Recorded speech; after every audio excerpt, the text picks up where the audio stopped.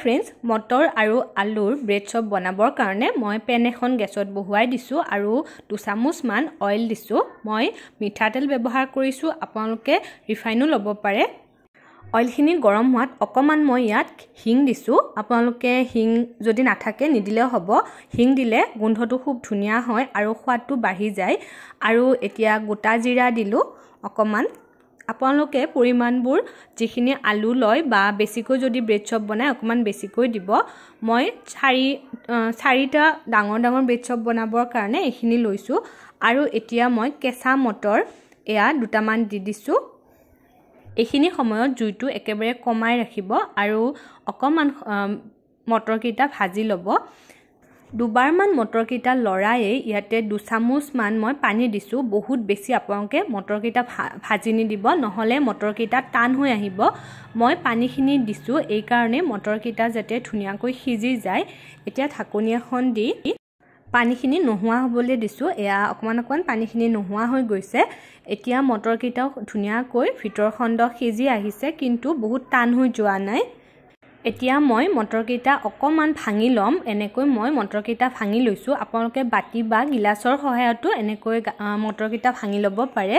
বহুত বেছিও ভাঙি নিদিওঁ অকণমান ফটাই ফটাই দিছোঁ। আপোনালোকে নিশ্চয় ধৰিব পাৰিছে। আৰু অকণমান পানী আছে সেয়েহে আৰু অকণমান সময় ভাজি ল'লোঁ। পানীখিনি নোহোৱা হোৱাত ইয়াত মই বইল কৰা আলু আৰু গাজৰ সৰু সৰুকৈ ৰুকি দিছোঁ আৰু সৰু সৰুকৈ কেঁচা ধনিয়া পাত কাটি দিছোঁ।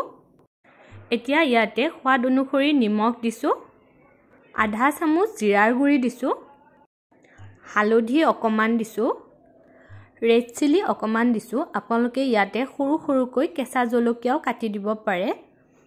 এয়া মই ধনিয়া গুড়ি অকণমান দিছোঁ। এতিয়া ইয়াতে আধা চামুচ আমচুৰ পাউডাৰ দিছোঁ। আমচুৰ পাউডাৰৰ সলনি আপোনালোকে চাট মছলা অকণমান দিব পাৰে নাইবা অকণমান নেমু ৰসো দিব পাৰে। এতিয়া আটাইখিনি মই মিলাই লৈছোঁ আৰু অকণমান সময় ভাজি ল'ম যাতে ইয়াতে থকা মছলাখিনি আলু গাজৰ আৰু মটৰৰ লগত ধুনীয়াকৈ মিলি যায়। এতিয়া এটা বাউলত আধা কাপমান মই বেচন লৈছোঁ। বেচনখিনিৰ ওপৰত নিমখ দিছোঁ। অকণমান হালধি দিছোঁ অকণমান ৰেড চিলি পাউডাৰ দিছোঁ আৰু অকণমান পানী দি মই ধুনীয়াকৈ এইখিনি মিলাই ল'ম। একেবাৰে গোটা গোটা থাকিব দিব নালাগে এনেকৈ ভালকৈ মিলাই এটা পেষ্ট বনাই ল'ব। এয়া বেচন আৰু পানীৰে মিলোৱা লিকুইডখিনি ৰেডি হৈ গ'ল। আপোনালোকে কনচিষ্টেঞ্চিটো নিশ্চয় ধৰিব পাৰিছে। এতিয়া মই চাৰিখন ব্ৰেড লৈছোঁ। মই চাৰিখন ব্ৰেডৰ বনাম। আপোনালোকে পৰিমাণটো নিজৰ ইচ্ছা অনুসৰি ল'ব। এয়া মই চাৰিখন ব্ৰেড ল'লোঁ। ব্ৰেডখিনিৰ ওপৰত অকণমান অকণমান টমেটো চচ দিছোঁ। আৰু স্পুন এখনৰ সহায়ত চাৰিওফালে টমেটো চচখিনি লগাই ল'লোঁ। আটাইকেইখনতে টমেটো চচ লগাই ল'লোঁ। এতিয়া ওপৰত এনেকৈ আলুৰ এটা এটা তৰপ দি দিছোঁ। আমি ব্ৰেড চপ ভিতৰত যিকোনো পুৰ দিব পাৰোঁ। এয়া আলু মটৰ আৰু গাজৰৰ যিটো পুৰ মই দিছোঁ খুব ভাল লাগে খাবলৈ। ইয়াৰে ওপৰত আপোনালোকে অকণমান অকণমান চিলি চচো দিব পাৰে। এতিয়া মই আটাইকেইখনৰ ওপৰত এখন এখন এনেকৈ ব্ৰেড দিলোঁ আৰু এতিয়া লিকুইডত ব্ৰেডখিনি ডুবাই মই অইলত ফ্ৰাই কৰিম আৰু আমাৰ ব্ৰেড চপ ৰেডি হৈ যাব। এনেকৈ চাৰিওফালে লগাব।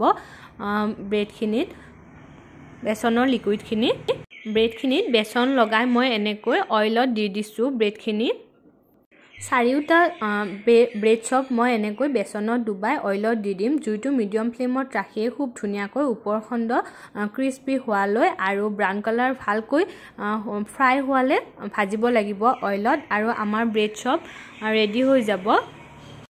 মই এয়া চাৰিওটা ব্ৰেড চব এনেকৈ দি দিলোঁ। এবাৰতে যদি আপোনালোকে সৰু সাজ লয় তেতিয়াহ'লে এটা এটাকৈও ফ্ৰাই কৰিব পাৰে।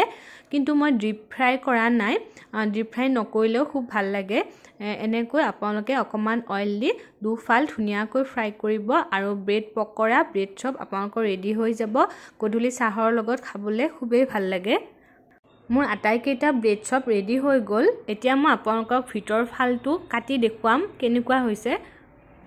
এইখিনিতে আপোনালোকক ৰিকুৱেষ্ট কৰিছোঁ। মোৰ নতুন ৰেচিপিবোৰ পাবলৈ চেনেলটো যদি ছাবস্ক্ৰাইব কৰা নাই ছাবস্ক্ৰাইব কৰি কাষতে থকা বেল আইকনটো ক্লিক কৰি অল কৰি থ'ব। এয়া চাওকচোন ভিতৰৰ খণ্ড খুব ধুনীয়া হৈছিলে আৰু আলু মটৰ গাজৰৰ কম্বাইনেশ্যনটো খাবলৈও খুব ভাল হয়। আপোনালোক সকলোকে ধন্যবাদ জনালোঁ ভিডিঅ'টো চোৱাৰ বাবে।